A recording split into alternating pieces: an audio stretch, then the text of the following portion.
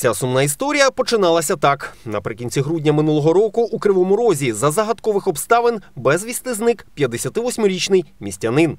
Опитавши дружину зниклого, стало відомо, що її чоловік жив з того, що позичав великі гроші під відсотки, і того дня мав зустрітися з одним із боржників. Востаннє зниклого пенсіонера бачили біля його власного гаражу. За показами випадкових свідків, чоловік емоційно розмовляв із трьома невідомими. Після огляду імовірного місця зустрічі сумнівів не виникало. Літня людина стала жертвою злочину. Осмотром гаража установлено, что из гаража пропало личное имущество некое его, а также возле гаража были обнаружены пятна крови и возможные следы борьбы. Вдень у день оперативники перевіряли зв'язки зниклого, але цікавої інформації було обмаль.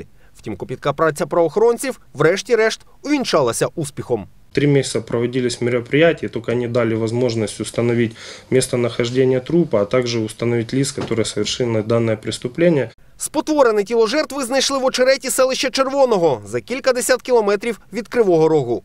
Неподалік від місця страшної знахідки мешкали і двоє з трьох підозрюваних у вбивстві. Після перших допитів затримані визнали свою провину і розповіли про мотиви звірячого вчинку. Чоловіка вбили через те, що не хотіли повертати йому борг в сумі 50 тисяч доларів США. Під час зустрічі зловмисники побили потерпілого металевими прутами та непритомного кинули до автівки та вивезли за місто.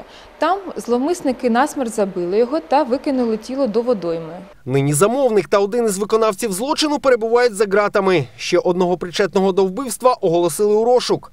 Після затримання останнього кримінальній трійці загрожуватиме до 15 років позбавлення волі або довічне ув'язнення.